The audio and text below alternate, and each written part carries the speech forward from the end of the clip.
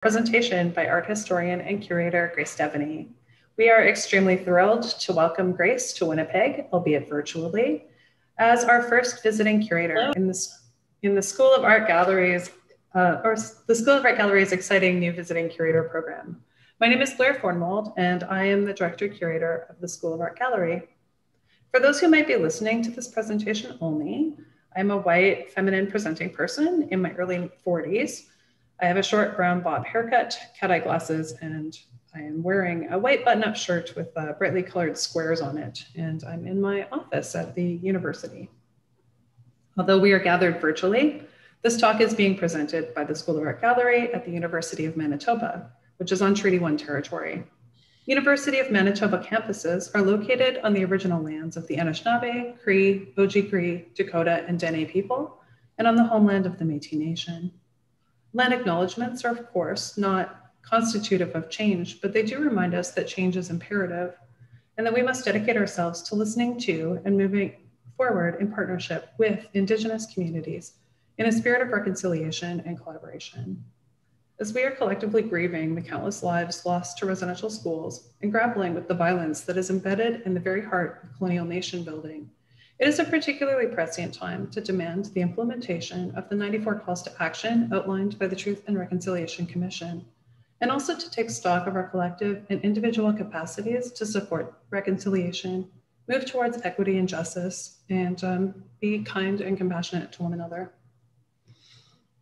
I would also like to acknowledge that the School of Art Gallery is generously funded by the University of Manitoba, the School of Arts faculty and staff, donors, and volunteers. Programming support is also provided by national and provincial funding agencies. The Visiting Curator program, this exciting new initiative, is generously sponsored by Dr. Michael F.B. Nesbitt, whose contributions to art and community building are deeply felt throughout the city of Winnipeg and especially at the University of Manitoba. Over the next three years, the Visiting Curator program is going to support curatorial research, exhibitions, events, and publications by Grace Deveney, as well as two emerging curators who Grace will mentor. The Visiting Curator program will play a vital role in defining contemporary art and its attendant discourses in the prairies, fostering strong new voices in this field and providing students, faculty, artists, and other community members with meaningful opportunities to engage. We are extremely grateful for Dr. Nesbitt's vision and his gift, and we are thrilled to be launching this program tonight. And of course, we are ever grateful to Grace for speaking with us tonight, and we are so happy that she has accepted our invitation to participate as our first visiting curator. Grace is Associate Curator of Prospect 5, Yesterday We Said Tomorrow, which is the fifth iteration of the Prospect Contemporary Art Triennial, which will open, I believe, on October 23rd, 2021 in New Orleans. Previously, she was Assistant Curator of the Museum of Contemporary Art Chicago where she curated exhibitions including Christina Quarles, Direct Message, Art, Language, and Power, and Groundings with Tara Aisha Willis, as well as presentations on the work of Paul Pfeiffer, Amanda Williams, and Ania Jaworska. She is a PhD candidate in art history at Northwestern University, and her dissertation research looks at television and technology of the 1970s to 1990s, and in the works of Howardena Pindell, Tony Cokes, and Stan Douglas and the ways that these artists created counter narratives to popular representations of Black political thought and action. Often exploring the relationships between landscape and language, Deveney's research explores how representations of places we live and the language that is used to define our experience is challenged or reconsidered by artists. Before I turn it over to Grace, I would like to note that this call for emerging curators to participate in the Visiting Curator Program is open now until July 23rd. And it is a really fantastic opportunity for two individuals to receive mentorship and guidance, as well as financial support to launch ambitious and exciting exhibitions, programs, and publications at the School of Art Gallery. Um, if you are an emerging curator, please consider applying. Um, and if you're not, please consider encouraging the brilliant emerging curators that are in your life um, to apply. And you can find out more on how to do that by visiting our website, um, which is umanitoba.ca slash art slash gallery. And um, finally, the, uh, the Zoom housekeeping notes section.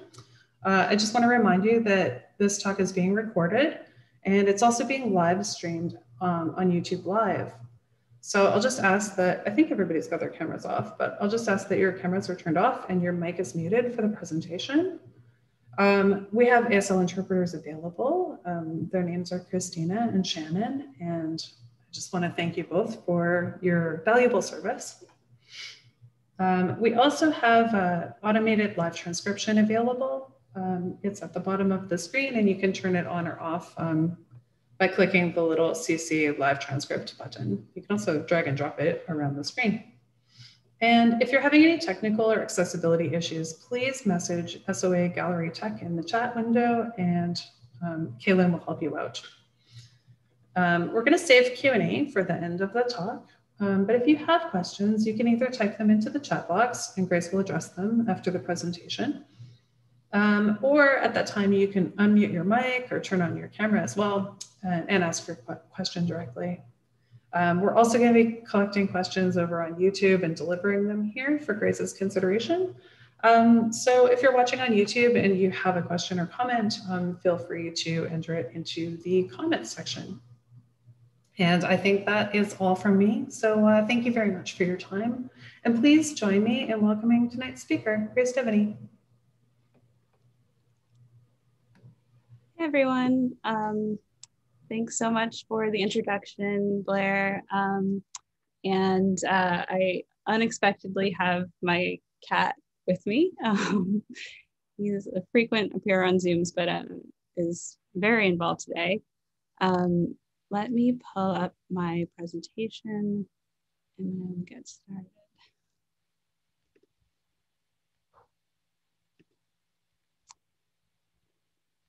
All right, so um, just again, to begin with thank yous. Thank you, Blair, for the introduction. I'd also like to thank Jean Bor Borbridge and Kaylin Harrison um, for their assistance in facilitating this talk. Also, thank you to the interpreters um, for live interpretation. That's such an incredible service. Um, thank you for that. Um, also, as Blair did, I will offer a visual description of myself. Um, I'm a Black woman in my 30s. I'm wearing a black shirt um, and gold rimmed glasses. I have a fuzzy cat sitting on my lap. Um, and I'm in a room with um, a geometric abstract painting behind me and some bookshelves and a poster. Um, I wanted to start this talk by saying that I am currently based in New Orleans, a place that is also called Bulbancha, a Choctaw term for the place of foreign languages. This name for, for Bulbancha in New Orleans refers to the region's role as a port and a site of exchange for many nations, including Houma, Ishak, Choctaw, Tunica, Biloxi, Avoyel, and Natchez peoples. Um, I think it's important to acknowledge this history um, as a port city, as it also extends to the um, trade of enslaved persons um, who also built the city. Louisiana is also a place that's very close to my heart as the home of my mother's family, family's father, family line, and I'm, I'm really grateful to spend time here. Um, I've started the presentation with this picture of the Louisiana landscape because it's a kind of constant source of inspiration and um, revitalization um, and also as a placeholder for the work that I am doing currently. Um, as Blair mentioned, I'm associate curator for Prospect New Orleans. I'm working closely with the exhibition's artistic directors, Diana Nawi and Naima J. Keith, two Los Angeles-based curators. Um, and we are putting together an exhibition that includes 51 artists and will be at venues across the city that opens on October 23rd. And I hope to see some of you there um, if, if travel allows. Um, so I can't speak much about this exhibition yet because we're revealing most of the details later on in the summer. So, but just wanted to acknowledge that that is um, why I'm currently based in New Orleans and what I'm working on. And then I also just wanted to give a quick shout out to an exhibition that I just finished organizing in Tulsa, Oklahoma. Um, this was a, an exhibition I did as a visiting curator for the uh, Oklahoma Visual Arts Coalition that every three years offers um, a juried prize to five projects. This year we supported five projects and six artists. Two of the artists were working as a collaborative duo, um, and they have a year and um, a stipend to realize a significant project. I had the honor of being the juror for the last uh, round of this prize, and their exhibition opened last weekend. And I had been working with them virtually over the course of the last year. Of course, um, in my busyness, I didn't take great pictures of the work, but here are a few. Um, and a, if you find yourself in the US in um, in Oklahoma or in the region, I recommend checking out the show that'll be on view until August. It's just an incredible group of artists who are thinking through questions related to landscape and complex notions of identity as it's shaped by their experiences in Oklahoma, and also looking at histories um, related to the thriving, despite displacement and despite violence, of Black life in, in Tulsa and in Oklahoma in general. Um, so for the rest of this talk, I'm going to try to speak through a few images and exhibitions I've organized over the last few years and to attempt to do um, something that I always am a bit resistant to, which is to kind of give linearity and um, narrative to a series of events that kind of unfold one at a time. Um, and at the surface might seem disconnected, but trying to tie a thread through my practice. Um, to put it succinctly, overall, I think that um, oftentimes as I work with contemporary artists and with artworks, I'm interested in the visual and political stakes of reworking routine structures, as well as the tension between frustration and play and the possibilities that emerge through revision, reworking, and reimagining anew. And I think that artists are often uniquely positioned to give form to ways of imagining otherwise. And that's something that um, that really uh, inspires me and um, I think adds an inflection to a lot of the work that I do. Um, I wanted to start this talk with one image that I've been totally captivated by since I first saw it. Um, this is an artwork by Howardena Pindell. Howardena Pindell is um, a New York based artist who, over the last few years, has really seen a kind of um, resurgence of interest in her practice despite kind of working steadily since the 1970s. Um, Howardena um, is an artist who got her MFA in Boston, moved to New York, and found herself in the position of being unable to find a teaching position or other forms of work to support her artistic practice. Eventually, she ends up sending out like hundreds of applications to various positions.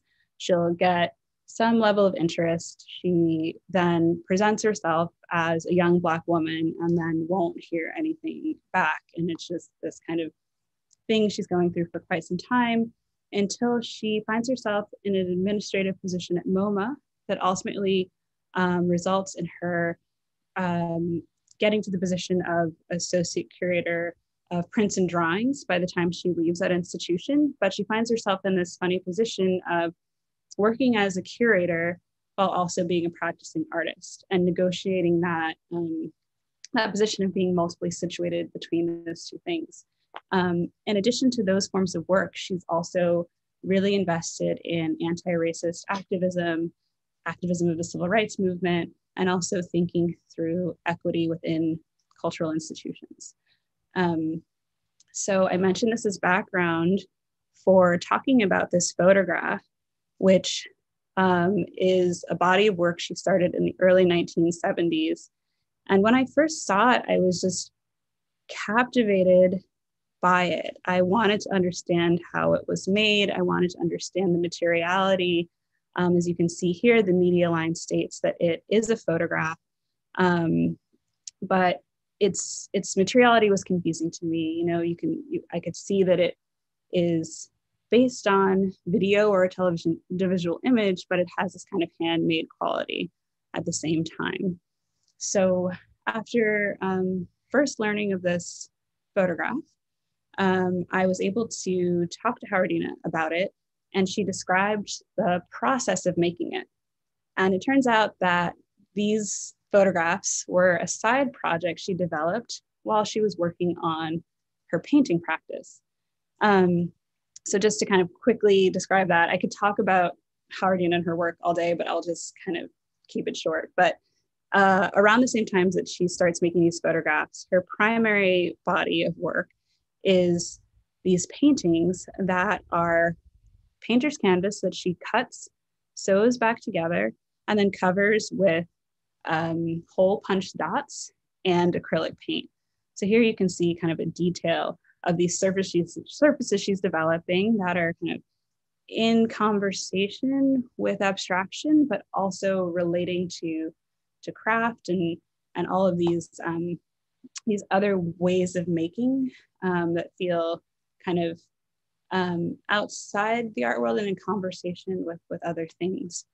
So, alongside developing this body of work, she also ends up making these photographs. And the impetus for this is that she is working all the time on these up close paintings, also feeling a sense of social isolation from being the only Black colleague at her institution and feeling largely excluded from many things outside of work. And, um, you know, she's talked about how these are kind of a, a, a product of both her free time and like looking for ways to fill it that brought her pleasure, that were satisfying, um, and that you know kind of engaged her her physically. Um, so she putting that all together, um, she is feeling a lot of strain, eye strain from making these paintings, and someone suggests that she gets a TV to have something at a different focal length to focus on and something that's kind of moving in the distance to rest her eyes. She, in her way, gets TV, begins watching it, and is a bit bored with what she's seeing. So she decides to start making artwork that engages with the TV. And the way she does so is developing this approach to drawing that brings together this code that she creates that feels like writing, it feels expressive, but ultimately it's not so much about um, communicating any particular thing, it's more about motion and gesture. Um, and on this slide here, on the left-hand side, you're seeing um, one image of those drawings that she's creating on acetate. And then the other one I included on the right-hand side, even though it's a slightly poor image, but to show you the kind of translucence of these drawings that she's making. So after creating these drawings, she ends up affixing them to her TV screen and then photographing the relationship between the two. So it brings this element of like chance and kind of unexpected encounter to the routine of watching TV, and then becomes this kind of visual documentation of what I kind of came to see as a, a kind of conversation between herself and her hand and um, and what was appearing on TV. So these, as I mentioned when I um, when I saw these, I was totally captivated by them. And I think that was in part because I had had a long-standing interest in photography and lens-based practices. I had um, done most of my um, undergraduate and graduate work with a focus on photography and Black artists creating um, non-hierarchical relationships between various kinds of image making through uh, photo books but I had not heard, I was, Pindell and her approach to photography was something that I hadn't learned about or heard about. And it just felt like it spoke to so many things I had been curious about and how people navigate the world and respond to media. Um, so my research on these led to a kind of deeper dive into television and technology in the 1970s and thinking through some other innovations that are happening at the time, such as um, the ways that television networks sought to caption and create words and images overlaid on live TV and thinking about her work as really engaged in this kind of conversation with new media um, despite being largely left out of art historical narratives about that.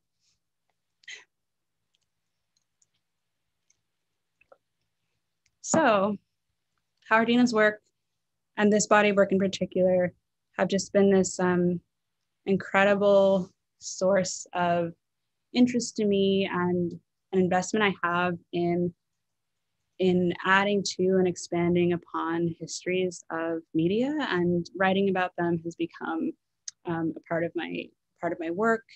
And i also had the opportunity to think through how to display them in the exhibition of howardena pindell's work that ultimately happened at um, the museum of contemporary chicago which is where i was working when i first discovered these um, just to backtrack slightly I, or I can't remember if I mentioned this, but I, um, I think Blair mentioned it. Sorry, I'm getting off track. Um, I worked at the MCA for many years, and at that time, Naomi Beckwith was organizing an exhibition of Howardena Pindell's work, which is how I ended up learning about this kind of side projects of hers. And we ended up including those in the exhibition, which opened in 2018. This is um, an installation view of that show. Um, so I think that my thinking around structure and play and the possibilities of responding to a given set of conditions um, is something that was really embodied by Howardena Pindell, but something that I also think about um, in the work of contemporary artists. Um, and over the next uh, 20 minutes or so, I'm just going to give a few more examples of exhibitions that I think, even though each of them has a really different material quality, I think that they're kind of relating to this, this the political stakes I have in this idea of reworking and reimagining anew, and especially the ways that Black artists engage with those stakes as they relate to um, structural racism and other things that have kind of shaped Black life in the US. So um, this is a set of installation views from an exhibition I organized in 2017. Um, I think, yes, 2017, with the architect Amanda Williams.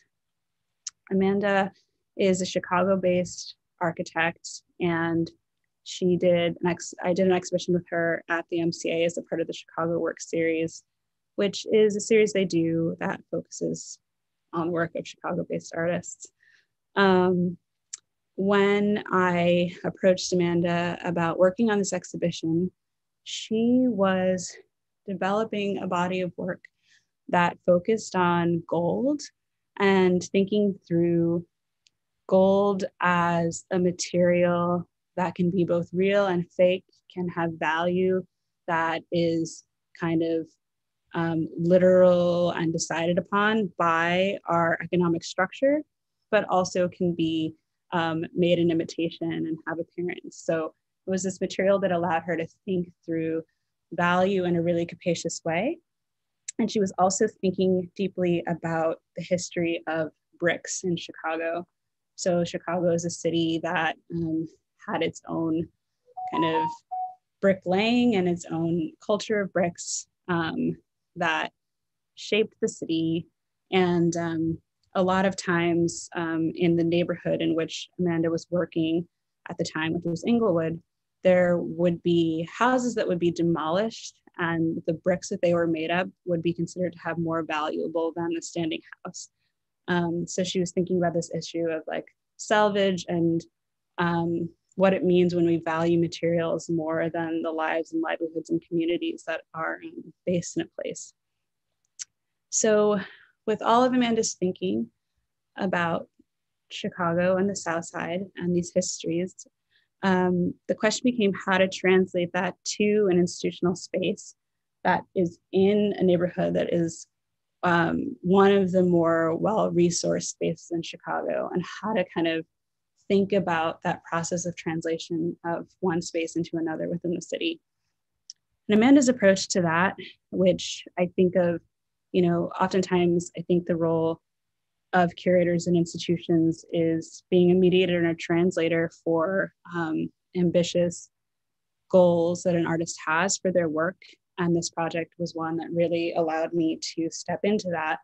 Something that Amanda wanted to do was to physically change the space of the, the gallery and create architectural interventions that would um, be a bit disruptive to common uses and experiences of the space. So one of the ways she sought to do that was to create this, this artwork, which she called She's Mighty Mighty, just letting it all hang out, a reference to the song Brick House. Um, and this artwork, we um, employed a brick mason to build a wall in the gallery. So what you're seeing here, that gold wall is normally an entrance, entrance into that gallery. But Amanda bricked it in and then covered it in gold leaf. So creating this kind of um, disruption to the space that changed the flow and kind of reawakened people to questions around access and, and entry. Um, another work that she uh, created for the show was actually um, an adjacent one to the brick wall I was just describing it's hard to see in this slide, but um, if you can see on the, um, the right hand side, there's like a small lit object on the wall. So that's the backside of the gold wall and embedded into the wall is um, a jar of ultra sheen. So this is a color that she, ultra sheen hair dress, which is a kind of hair grease. And she was interested in bringing this in and kind of equating it with one of these bricks to again think through these questions of value and structure and, and how value gets built and maintained. Um, the last um, piece of this exhibition that I'll speak about, which is kind of in keeping with what I was describing earlier, but um, at a slightly different scale, was the creation of a room that is the size of a typical Chicago lot, or excuse me, not the size, the scale of a typical Chicago lot, so proportionate to a Chicago lot. And this room um, was gilded by a group of collaborators and friends that Amanda has worked with um, and who live in Englewood, the neighborhood that Amanda um, Amanda's practice at this time was kind of focused on. And um, together they gold leafed the room and then sealed it off. So this kind of very direct way of shifting questions of access. So visitors to the exhibition could look into the room and see this gilded space. Um, and the idea was to kind of create this installation that, that raised questions around who has access to property and property ownership um, by disrupting the space of the gallery. Um, another exhibition I worked on slightly after this, but I think felt really in keeping with these questions around structure and how to question things that are limiting and at times feel arbitrary, um, but are so kind of baked into the everyday. Um, that came, that that thinking kind of reached an apotheosis in this exhibition, Direct Message, Art, Language, and Power, that opened in October of 2019. This exhibition was rooted in the MCA collection. So, um, you know, one of the things about um, being an institutional curator with a collection that was both an opportunity and a challenge is that there's this whole kind of set of objects that you are tasked with working with, which, um, you know, on one hand, I think is an incredible opportunity and one that I feel so grateful for.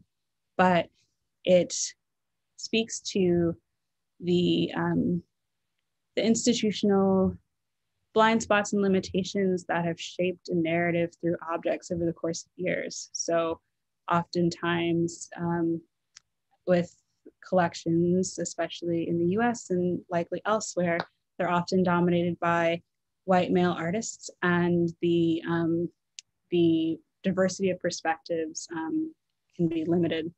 So for this um, exhibition, I was thinking through these questions around language and structure and um, how artists intervene on media um, and try to imagine it anew. And my thinking for that ended up leading me to some incredible language based and conceptual artworks in the MCA's collection. So on the um, right hand side of the slide, you're seeing a work by Jenny Holzer that was um, commissioned by the MCA in 2008 and hadn't been shown since then. So part of the work of this project was um, working with our the museum's registrars and technicians to um, restore this piece and show it again.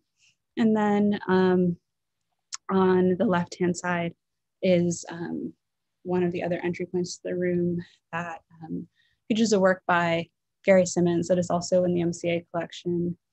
Um, so I thought that um, to talk about this exhibition a little bit, I might just go through some um, pairings of artworks and kind of um, some some groups of artworks that speak to my thinking as I worked through a collection and also kind of trying to imagine other ways of creating a narrative around um, media and language-based art. So to that end, what you're seeing in this slide is, and in the background are three paintings by Paul Thek, um, an artist who is represented in the MCA collection. His paintings, um, I mean, he worked in a, in a diversity of ways. Um, he's, um, he's an artist who was based in New York, traveled often, um, and he made paintings when he was traveling on newspapers, or he would um, he would take the day's newspaper and paint over it a kind of like personal scene or response to the news. Um, I think these paintings are incredible and and interesting and, and so striking. Um, but I wanted to think through this process of like removing or changing or altering the news and and look at how artists were working on that um, more expansively. So one way I thought about expanding this was um, including the work of Siebren Versteeg, an artist who um, has a digital project. So what you're seeing on the left and right hand side are actually the same screen over the course of a day. Um, and this project was um, a, a computer program that paints over the New York Times over the course of a day using um, the colors from the front page. So again, like, you know, thinking through, um, thinking through the same, a similar kind of um, thing that Paul Thek is thinking through, but um, through artificial, uh, artificial intelligence might be an extreme word, but through this algorithm and through, um, you know, a computer generated painting that's kind of covering the news. Um, and then more in keeping with my kind of focus and roots as an art historian, I wanted to include um, a range of artists that were thinking those questions as it related to Black political thought and Black history. Um, so one of the artists um, whose work was not in the collection um, that we, we, were able to borrow from the Southside Community Art Center is Ralph Arnold's Unfinished Collage, which is a work that honors John F. K., Robert F. Kennedy, and Martin Luther King, each of whom was assassinated in 1968 at the height of the civil rights era.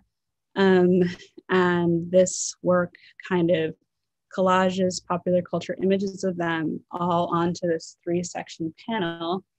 And ultimately, he called this work Unfinished Collage because um, I don't know if you can see my mouse, but the um, panel over here um, is blank. It kind of, there's this fourth section that kind of implies leaving space for future political violence.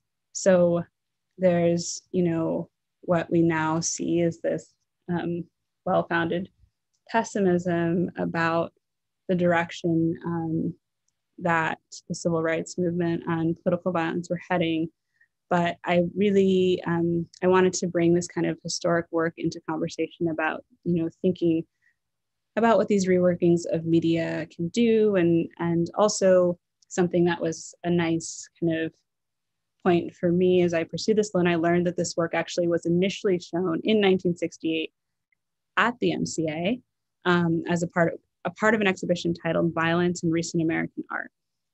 So it was kind of an exciting opportunity to to um, bring this object back to this institution and to kind of situate it alongside a collection and to um, imagine its place within within other objects from the same time period and others that that were collected.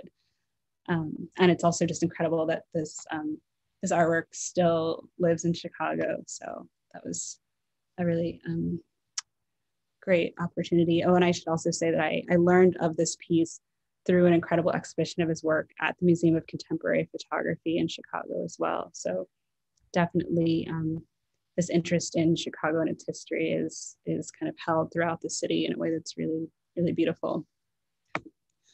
Um, some other artists that I brought into this conversation around news and media and rethinking it included Alexandra Bell. Um, Alexandra Bell is a New York based artist who trained as a journalist and she um, initially began making works such as the one you're seeing here um, as public artworks that were trying to think through media coverage. So for um, Alexandra Bell, she's interested in kind of arguing back with content, questioning the way something's written, and then um, redoing it in a way that acknowledges those concerns. Um, so that is a quote from Alexandra about her reworking of news um, and what she's doing with this um, redacted and reimagined cover of the New York Times um, and the coverage of Michael Brown. So another artist that I wanted to bring into conversation is Lorraine O'Grady. Um, she is um, an artist who's been, again, working steadily since the 70s. Um, she is the daughter of Caribbean immigrants who grew up in Boston. Um, and this work that you're seeing here, it's the work in the background. In the foreground, there's a reflection of a William Kentridge piece in the front. Um, but this work um, is based on poetry, essentially, that she made from the public language of newspapers. Um, it's a body of work that she has described as a ceaseless conversation of difference um, that comes from the desire to tell your own stories, not just to understand yourself, but to understand the world. Um, in this body of work, she's kind of taking collages that she's made in this way from the 1970s and putting them in conversation with newer works from 2017. So what I loved about this was this kind of this um, this historic work, but how Lorraine O'Grady herself is revisiting her archive and kind of updating things. So almost in in the absence of having visibility around these works at the time they were made. She's kind of creating her own archive for them and like this kind of literal conversation um, with herself, you know, that I thought was really compelling and kind of another take on this way of reworking, rethinking um, media. Um, another aspect of the show that um, I was really um, excited to include were artists who are thinking through um, public language by considering redaction.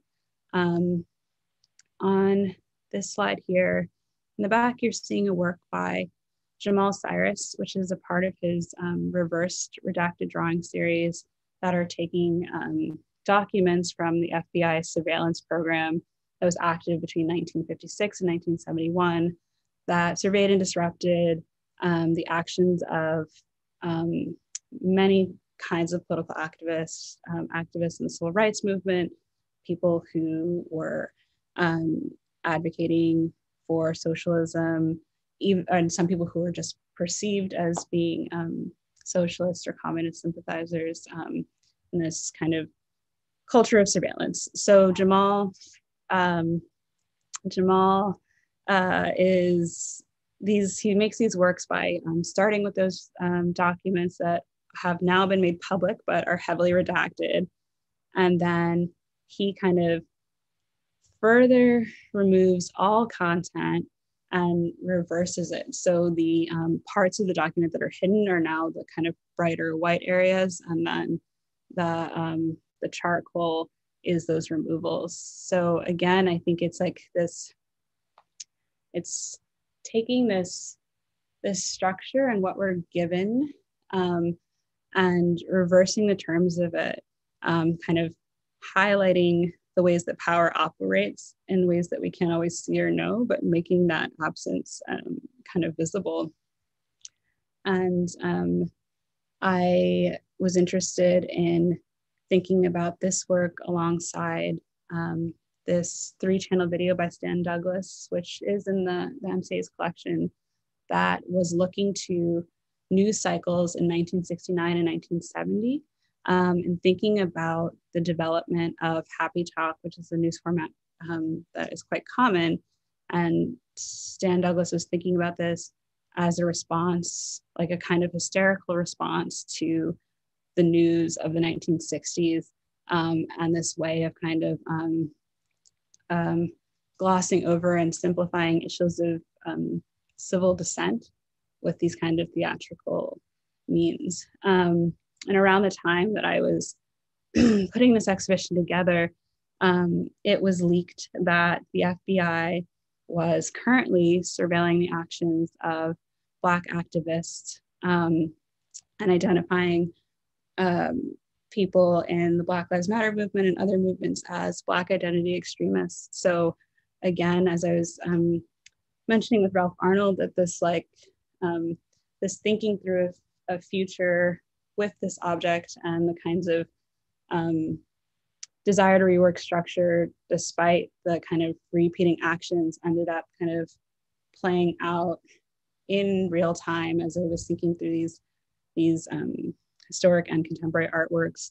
And um, as a part of the programming for this exhibition, there was a conversation with um, two lawyers working on media and um, questions of surveillance with Jamal Cyrus to kind of bring these questions to show the ways that these questions are not just things that unfold in the gallery, but also relate to issues um, of policy and govern governance. Um, the last exhibition I will talk about has a very different visual appearance than the previous ones, I think, but to my mind feels um, related in some ways to this, this um, idea that I mentioned at the top, this kind of interest I have in disrupting structure and thinking anew about um, about the the, the routines that we um, are often live with that are received and kind of we haven't had a hand in shaping. So Christina Quarles is a Los Angeles based painter who um, describes her work as being about um, painting the experience of existing in the body. And for Christina, as a biracial cisgendered woman um, who is queer, but um, her basically she is painting from an experience of being multiply situated between identities, um, but often feeling like the the impetus to be kind of fully legible within one identity position or another is um, not only not accessible to her, but not something that she's interested in. She's really, um, she's really invested in the possibilities of being multiply situated um, and finding a new path through the world from from that position. And I think that as far as her paintings go, um, some the thing that drew me to them um, initially was how uh, how bodily they were, not just in terms of like representing what a body in motion or what two bodies look like, but what it feels like to exist in a body and what um, what intimacy with both environment and others can start to feel like the kind of merging and collapsing um, and also the ways in which that that can be um, a source of pleasure but also um, the kind of fraught nature of of closeness and touch um, and the violence that it um, is sometimes connected with. So this exhibition um, it just opened at the MCA um, in March, and it um, yeah it was an exploration of her paintings um, that was was looking at the ways that she paints identity and relationship to environment and um, these these kinds of ways that she's seeking to um, break down routine structures and boundaries quite literally through the expressive capacity of the figures in her paintings. Um, and then another kind of um, tie in with the other bodies of work I was showing, or the other exhibitions I was showing, is um, Christina is an artist who's deeply interested in it, deeply interested in language and um, playing with language, and um, her work often includes like her her um, drawings often include language and song lyrics, and then this installation, which we um, showed for the first time um, since she had made it, includes like bits of text embedded into the environment, um, and this kind of mix of wordplay and visuality, just on like a kind of material level. I think is something that I'm I'm interested in. But um, I think for Christina, it's really about um, it's about kind of challenging distinctions between thought and um, affect and um, various ways of being that are kind of thought to be separate. And like all of the the power and possibility that comes from kind of breaking through these boundaries and structures um, as they relate to self and to how we relate to one another.